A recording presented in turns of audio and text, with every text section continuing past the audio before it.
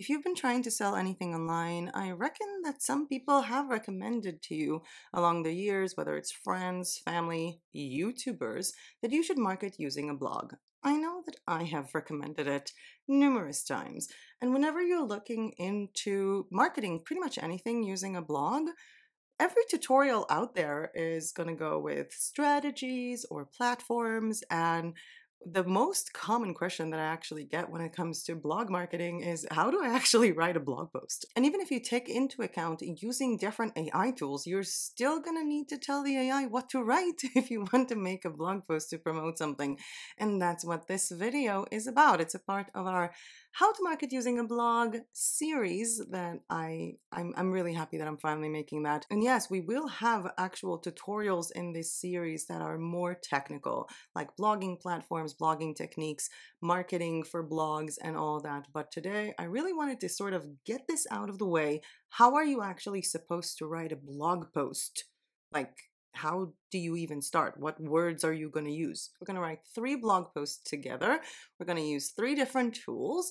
We're going to have three different purposes for each and every one of these blog posts. And if you look at the reason why I'm doing something, the technique behind it, the thought behind it and not just the actual example of that specific product, you'll realize that these blog post techniques that I'm about to show you can be used to promote your print on demand products, your printables, your KDP books, affiliate links, and pretty much anything that is sold online. And with that being said, let's just get started. Hi everyone, welcome back to my channel. My name is Mey and I teach creative people how to make money online. And for those of you who have been watching my channel, you know that I love blogs. I love blogs. I love blogging. I love blog posts. The written word SEO, my God, this has made me so much money along the years. And even when it comes to my Redbubble store, I was pretty much marketing it from 2017 with two photos on a sidebar of a blog that talks about shopping. And there are so many ways to make money using a blog, and I hope that in this tutorial it will make you understand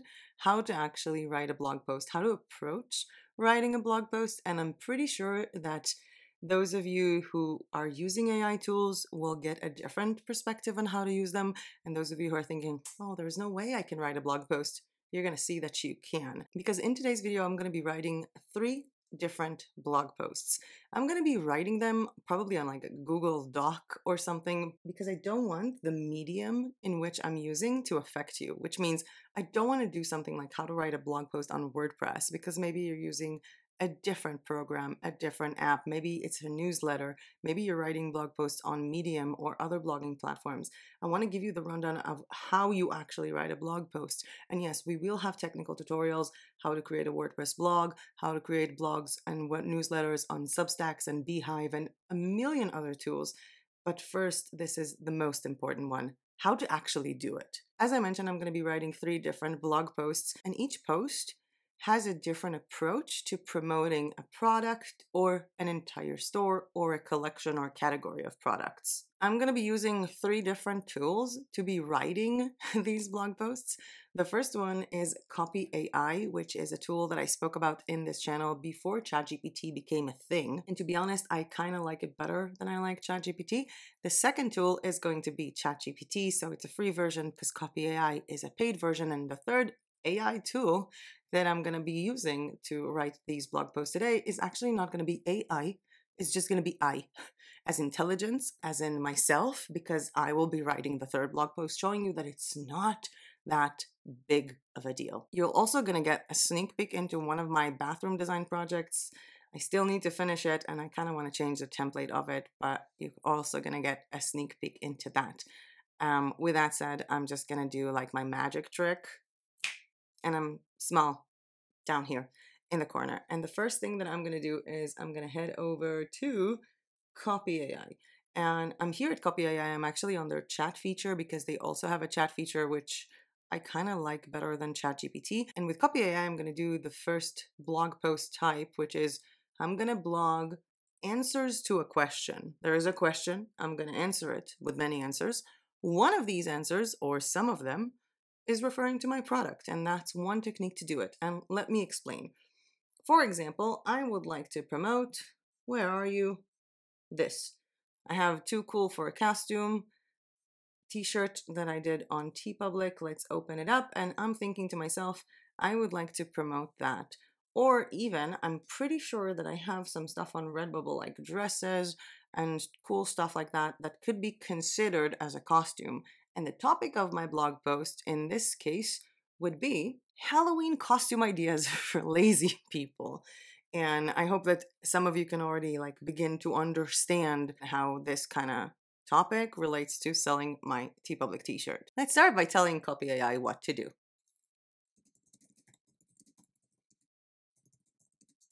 Write me a blog post titled Best Halloween Costume Designs for Lazy People. Provide at least, uh, I want it to be really good, eight ideas. Go. One of the things that I really like about Copy AI is that I can pretty much copy paste anything here to the side so I can use it later with my other project. So I can use multiple tools in Copy AI and put it here. This is by no means a full Copy AI tutorial. There was one. Let's see what it's doing. Ooh, hello. Okay. Halloween is just around the corner, and if you're someone who likes to celebrate the holiday but doesn't want to put in a ton of effort into your costume, we've got you covered. Okay, so there is an emoji mask Keep it simple and trending with an emoji mask. Okay, that's kind of cool. Error 414 costume not found. Does anyone want to design that now? I'm pretty sure that I'm going to design that. The lazy tourist embrace the tourist stereotype by wearing a, a loud Hawaiian t shirt, a funny pack, cargo shorts, and socks with sandals. Sleeping Beauty if you're extra lazy, serial killer. Oh wow. Identity thief, rock, paper, scissors, Halloween costume t shirt. Okay, what I'm doing right now is I'm going to copy all of this here. Wait. We have a lot of other posts that I've done before this. I'm going to take this and I'm going to copy this here because this is my area of working. Can I move this? Why can't I move this? And what I like to explain to you is the workflow when you're doing something like this. Because again, this is not how to put this on WordPress. What you're going to need to do is change a few of these words because Google does know how to scan for articles written by AI. What we have here is valid ideas and I dare to say actionable ideas because I actually want to create this costume now. I literally want to create this costume like error 414 costume, costume not found. In this case, if this was something that I was doing for one of my blogs, I would totally create this costume immediately, which means that right here in this section, when you're actually doing the blog post on the platform, I would insert a photo of this costume and a link to it. And I'm pretty much sure I'm going to do that today. This is a really good idea. Oh my God. Why am I doing this to myself? My ADHD is horrible. Now we have the lazy tourist stereotype by wearing a loud Hawaiian t shirt. If you have any all over print t shirt, you can put it here if it's like Hawaiian or a fanny pack that says I'm a tourist or anything relating to any of these. We have the Sleeping Beauty. If you're extra lazy, why not dress up as a Sleeping Beauty? Okay. Um, serial killer. I think you can also put it some on like uh, on like a T-shirt as well. Identity thief. But the thing is, that it also gave me the ha- Halloween costume t shirt. When all else fails, go for a classic Halloween costume t shirt. For example, here is also a good place to put my t shirt, the one that I wanted to promote. Too cool for a costume. So, in this case, if this is what I want to do, what I will do here is instead of the Halloween costume t shirt that they wrote, I'm going to delete this and I'm going to write while a lot of people might call you lazy, we know the truth. You're simply too cool for a costume. And in that place, I will put this photo in. And that is technique number one. I asked a question or presented a topic, which is best Halloween costume designs for lazy people. And the answer was at least one of my products. And if this is the model, what you can do is basically ask a question what to buy your mom for Mother's Day, what to buy to your girlfriend. And I actually made a blog post earlier, which is cool gift ideas for guitar players. And there is like a guitar tuner, guitar strap, guitar pick holder. Who has a guitar pick holder? But fine. Guitar capo. I think they have nice ones on AliExpress and Amazon. Guitar effects pedal. I kind of want to buy this now myself. Guitar stand strap locks guitar polish and care kit, guitar wall art. This would be an excellent place to put in something if you have like a beautiful guitar on a piece of poster on a canvas, you can put it here. And again, with all of these, with Halloween costume t shirts, with the guitar, you can also use affiliate links. So if you're affiliated with Etsy, if you're affiliated with Society 6, which you should be if you're selling on the platform, Zazzle, if you're a Redbubble affiliate, Amazon affiliate, all of these can come in here. And the reason why I made this is because I also have, let me just hop on over here, is because I also have a sound and music category in my TeePublic store, and I do have t shirts and designs targeting guitar players. So this is method number one. And I wrote some more ideas for this method. For example, I wrote the gifts for musician, gifts for mom, gifts for girlfriend. Are you ready for the new school year? What are the things that you need to get ready for the new school year or the new college university year? One of these things can be tie dye backpacks that I'm selling on Redbubble. So there are a lot of things that you can do. Just try and think of it this way look at a product and say, what kind of broad question can someone ask that my product is going to be a part of the answer? And that's what you're writing. Even theme ideas for birthdays is a great way to open up, especially if you're selling on Zazzle and you're selling things like paper cups or invitations for themed birthday parties. Moving on to topic number two blogging about a general topic that my audience might like while trying to sell my product at the bottom. So, in the previous blog post, my product was one of the answers to a question. I was literally talking about my product. But in our second case, I'm not going to display my product at all. My product is not going to be a part of the blog post. I am going to blog about something, and a product is going to be next to it. And in this case, I chose my dark magenta custom name gratitude journal. And what I'm going to do is I'm going to head over to ChatGPT because I told you that the second one is going to be with ChatGPT. And we're going to tell him, write me a blog post titled The Importance of Gratitude, talking about why it is important to practice gratitude daily, how to be more grateful in your life, and ends with 16 gratitude journaling prompts. Now, I know that a lot of people like write me a blog post about t shirts or write me a blog post about this. No, you need to guide the app what to do. Oh, wow, it's going. Oh, it's brilliant. I love it. I love it so much. Oh, I did exactly what I wanted. Huh. I did exactly what I wanted. Oh, it's even writing an outro. Okay. Am I going to read the whole thing, right? In the hustle and bustle of your daily lives, it's easy to overlook the simple yet profound act of gratitude. I love this intro. Okay, why practice gratitude daily? To have a positive mindset, enhance your relationships. That is totally true. Stress reduction, improve mental health, how to be more grateful in your life, morning gratitude ritual, journaling, mindful moments, express appreciation. This is beautiful. And then 16 journaling prompts to help you get started. You can, you know, add to help you get started incorporating gratitude, you see this thing. Now, whether you're blogging on Medium, on Substack, on WordPress, whether you're blogging on your Shopify store blog or on Squarespace, you copy all of this, you change the words a little bit just to make it flow a bit better. Sometimes I even make grammar mistakes on purpose. I found that my articles that have grammar mistakes tend to keep people more engaged because it gets them thinking about this. I don't know. Maybe it's just an old statistics, but it used to work for me. And the thing is that right after this post will end, this post is not selling anyone anything. And I think that's the beauty of it because a lot of people get this like anti vibe when they know someone is trying to sell them. So you're not selling anything in this post. You can even create this, make like 15 gratitude journaling prompts as a freebie printable or something.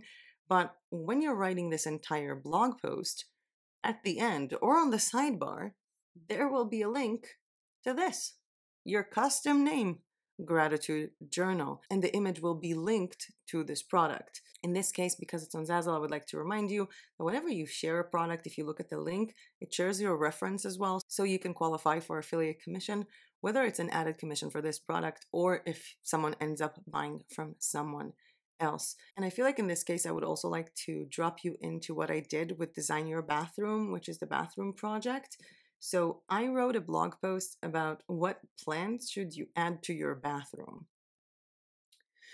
I am not selling plants, but we are talking about again, concept number 2 of a blog post is to write about a general topic while placing the product that reference that that relates to that audience on the side or at the bottom.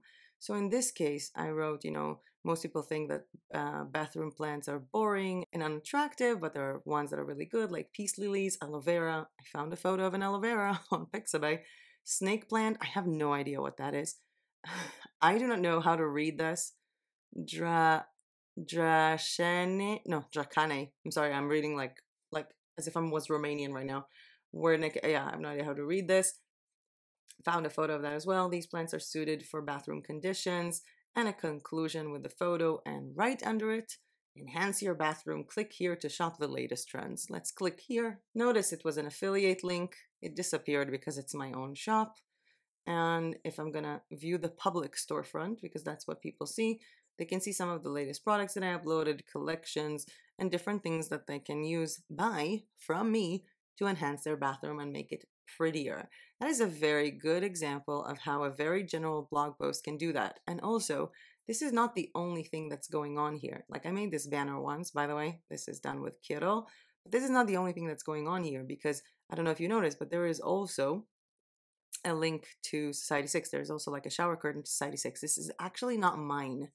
This is a viewer of the channel, Bambara Art. So it has my affiliate link, if you can see here, curator at Aroyo Art. And below this, this is actually an affiliate link to my entire Van Gogh bath decor collection on Zazzle. And that basically sums up my second way of writing a blog post, which is to write a blog post that goes to an audience that might like my product. And I wrote a few other examples for this kind of blog. Let's say, for example, you're on Society 6 and looking at the products, you can make like a yoga and wellness blog and then write articles about the benefits of doing yoga. And on the sidebar, there is a beautiful yoga mat that you designed. Also, the benefits of running, and there are leggings or a t shirt for someone who likes to run. So, there are a lot of things that you can do if you just think about one of the items that you made, one of the designs that you made, and who would like that? That person that would like that, what else do they like to talk about? I feel like this also goes with things relating to life conditions, life situations, restrictions in life, and dietary choices because you can sell your I'm vegan, I'm keto, or all of these t shirts, or even I'm gluten intolerant t shirts in a blog that contains recipes for people who are on that specific diet. Just uh, food for thought while we're talking about food. Moving on to the third option, and in that case, we're downgrading from AI to simply I. I'm going to open here a new Google Doc. And in this case, I'm going to write a blog post completely by myself. Now, before I'm going to do that, if you just want to make me feel good about myself, and so far you like this video and found this content useful, I would appreciate it if you hit the like button down below because every time you do that, it really does help my channel and subscribe to my channel if you're not yet subscribed. Moving on to blog post type number three. And in here, I am talking about blogging about a trend some kind of topic, some kind of a compilation of things where each paragraph references a product or a set of products. Now, in my case, I'm going to go to Society 6, and these are my shower curtains on Society 6. I also opened them on Redbubble. Oh, blessed me for for remembering to prepare myself for this video finally. So I'm going to reference things that I designed on Society 6 and on Redbubble in this blog post, and I'm going to show you a little bit more of the process. And yes, again, obviously, no one writes a blog post on Google Drive Docs, but this is where we're going to write it. And I do recommend at the beginning when you're starting to write blog posts, maybe practice writing them not on the platform that you're writing them on, just to get the hang of like sitting and writing instead of thinking about how it's going to look on a platform.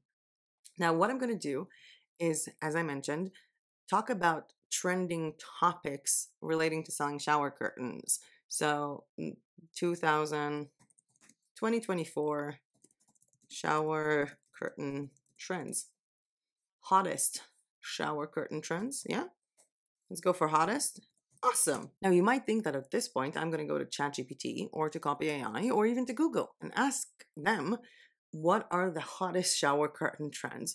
And here's where you're going to be wrong. I'm not going to ask anyone what the shower curtain trends are. This is going to be on my website, so I'm going to decide what they are. And if that sounds a bit ridiculous to you, that I'm going to say the top hottest shower curtain trends while sitting here in Bulgaria uh, having a shower curtain, I think I have a shower curtain from like two years ago or a year ago from China.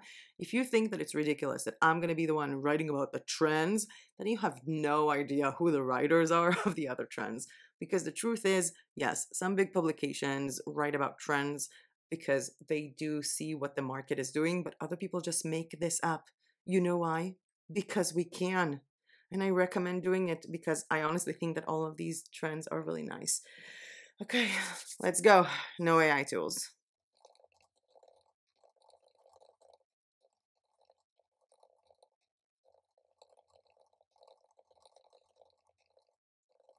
No one likes a boring bathroom, and no one should have a boring bathroom. So today, we'll go over the top trends in shower curtains for 2024 for you to be able to style your bathroom as easily as hanging a new curtain, new shower curtain. Now, what I'm going to do is literally go over the shower curtains that I'm selling. I can also go over other people if they're on Etsy or Society6 or Zazzle because I'm an affiliate of all of those. But for the sake of this, you can see that I have some liquid art. Okay. I think I actually already did that research thing. Yeah, I already did. It's on my notes. Okay. Let's see what I wrote. I already thought about it. I told you I can't prepare this time. Okay, that's going to be tie dye, shower curtains, black and white, shower curtains, art parody shower curtains like my Mona Lisa and my uh, Van Dog Starry Cow designs. Nautical shower curtains, they're always on trend. Okay. Fruit pattern shower curtains and neurographics. Or neurographic art actually might be better. I do have those. Okay.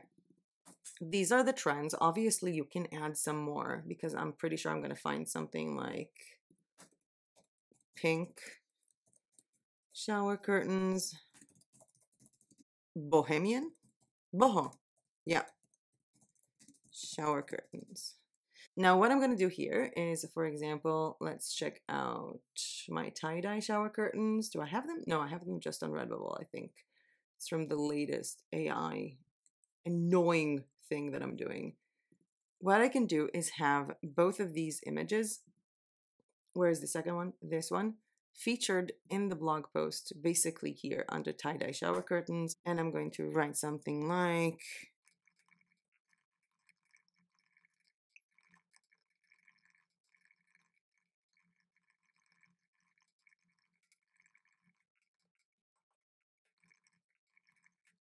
Okay, sorry for looking like this all the time. My screen where I'm looking at is very far from me.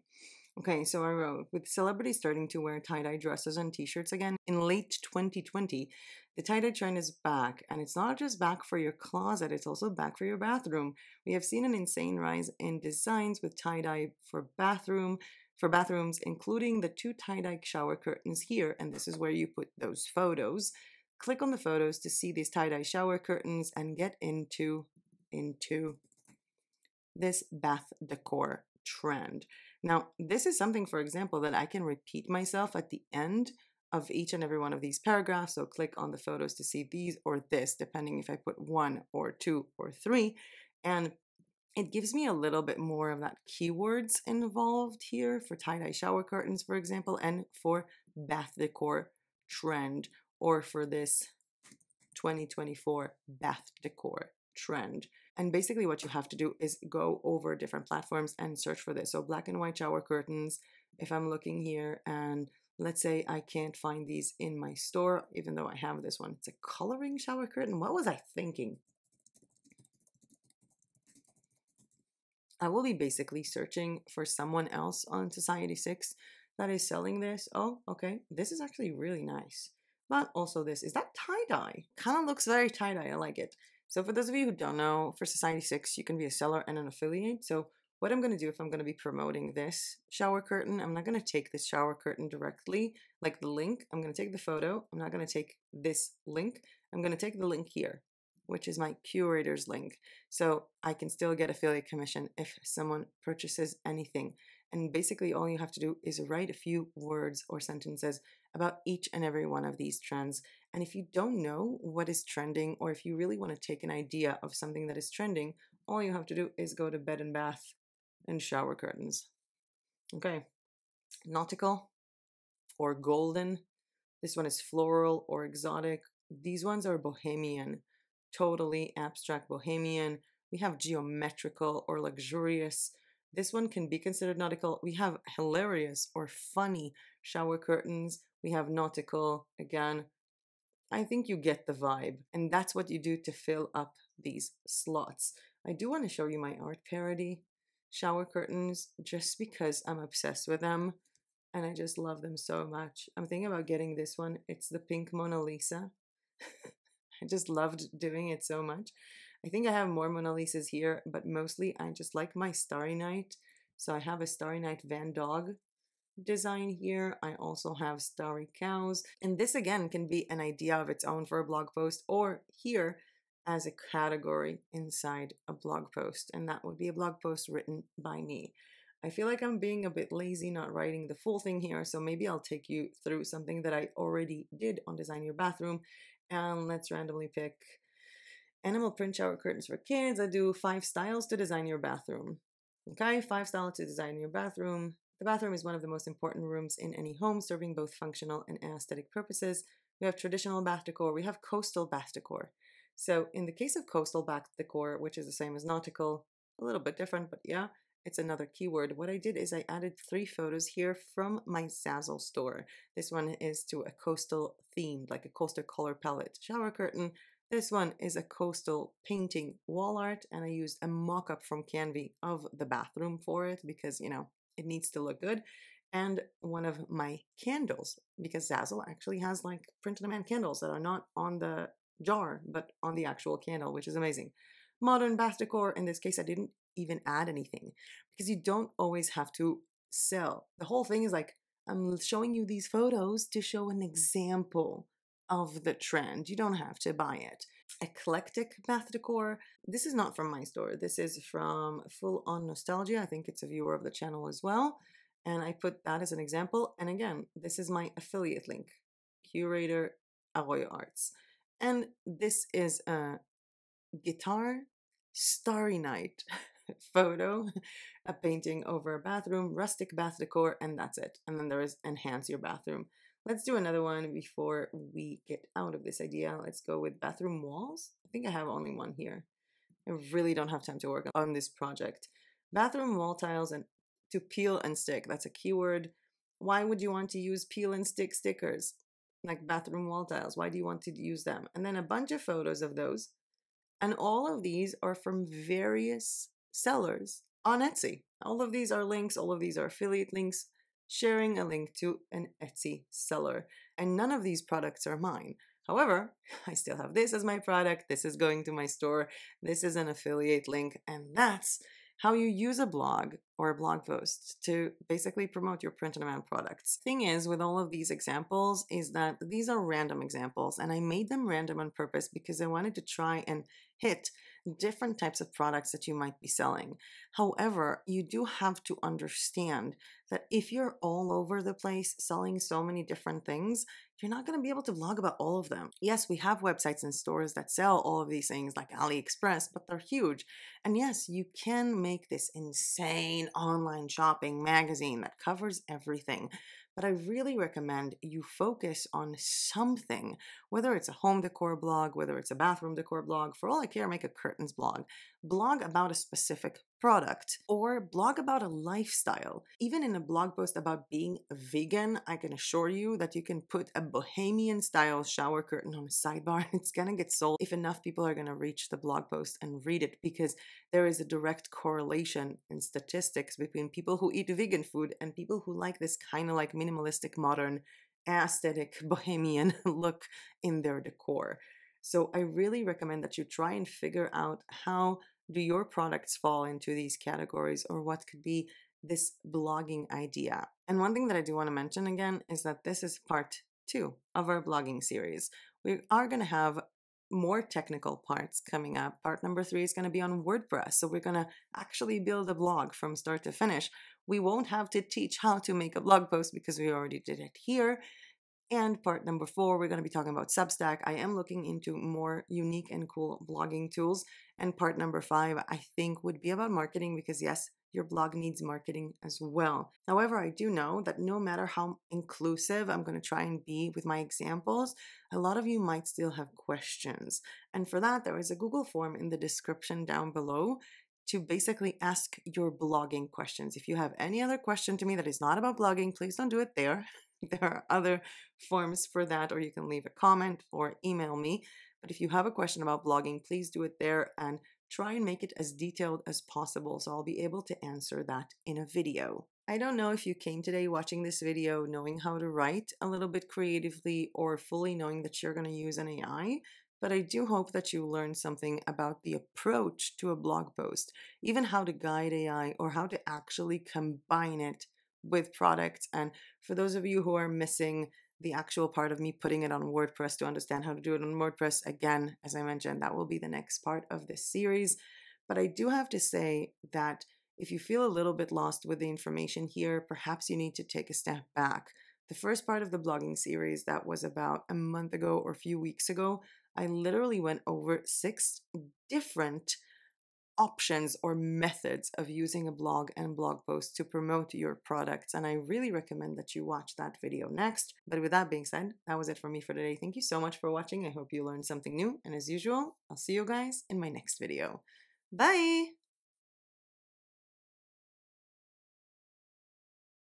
So before we jump into the last part, what was I saying? No Bolgarski. English?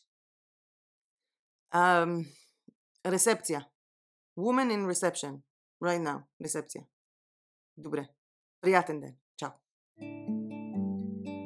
I really need to tune my guitar. I really do. Well, it's time to work, right? I can tune my guitar after I do some work. Write me a blog post titled The Importance of Gratitude talking about. Okay, write me about. What was wrong with my mouth? Okay,